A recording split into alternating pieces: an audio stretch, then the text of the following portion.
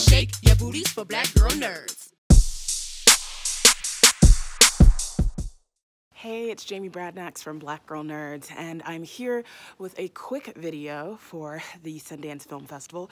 Kind of doing like a Sundance roundup of all of the movies that I saw this weekend, which were fantastic.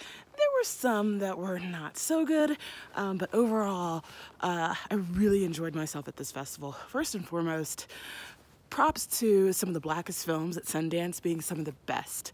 So Sorry to Bother You, directed by Boots Riley, that is the number one favorite that I'm hearing from a lot of people over at Sundance. It's got a quirky, eccentric, avant-garde story. And listen i don't even want to go into details about what this plot is about because it will blow your mind. Also Blind Spotting, which David diggs co-wrote along with rafael casal that is another great story. By the way both of these stories sorry to bother you and Blind Spotting, take place in oakland. And let's just say Blindspotting is a bit of a musical.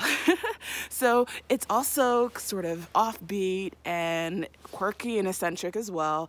And I just love seeing that coming from two films that have black leads in a city Oakland, which, you know, stereotypically, you're always seeing these really, um, you know, I don't know how to describe it, but you see these stories that are always ridden with black pain and black poverty and, and, and these particular films go completely against that narrative.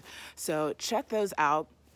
Also, Night Comes On, um, directed by Jordana Spiro, featuring Dominique Fishback, and that is like the black women version of Moonlight. It's so beautiful, coming of age story, queer story. Um, so there's a lot to talk about here at Sundance, and I'm gonna go over more later on, but those are my top three. If I had to go over um, some of the ones that I'm not that into, um, probably would have to be Tyrel. It's the Jason Mitchell movie. For some reason, a lot of people were comparing it to Get Out. Has nothing to do with Get Out. It really doesn't deal with social or racial commentary.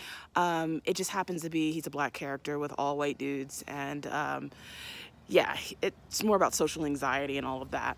So my ride is here. I'm going to go, and I will see you guys later over at uh, Sundance. Better shake your for black girl nerds. Better shake your booties for black girl nerds.